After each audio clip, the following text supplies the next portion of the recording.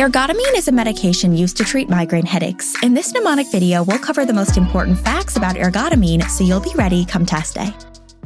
After sitting in a crummy office chair day after day, I finally decided to splurge and buy myself one of those nice ergonomic office chairs. You know, the kind that supposedly gives you good back support. Use this ergonomic chair to remind you of the drug ergotamine. Ergonomic for ergotamine, get it? Now that you're anchored to the scene, let's move on to learn more about what ergotamine does.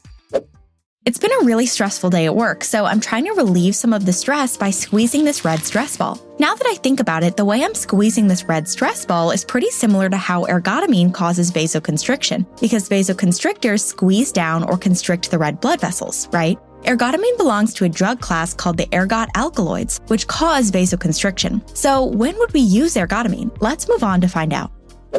Man, I just can't seem to find a solution to my work problem, and all of this stress is giving me a headache. While I squeeze the stress ball, I'm also rubbing my temples, trying to kick this headache. You can use this to help you remember that ergotamine is used to treat migraine headaches. It has been shown that vasoconstriction of the brain's blood vessels and reducing blood flow can relieve migraine headaches, which is why ergotamine works so well. It's worth noting that ergotamine is not a regularly taken medication. Instead, this drug is taken at the onset of the migraine to try to minimize the duration and severity of symptoms.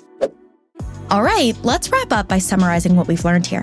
Ergotamine is a medication that causes vasoconstriction to treat migraine headaches. It is not a regularly scheduled drug, but is rather taken at the onset of the migraine.